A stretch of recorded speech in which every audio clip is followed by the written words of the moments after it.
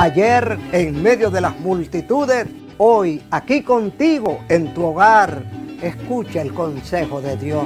¡Gloria a Cristo!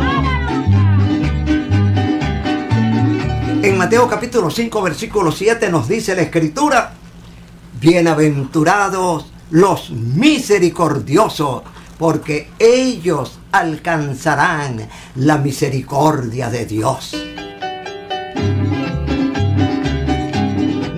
Hemos quebrado, estamos disfrutando el descanso del guerrero. Mañana volverán las multitudes y serán diez veces mayores.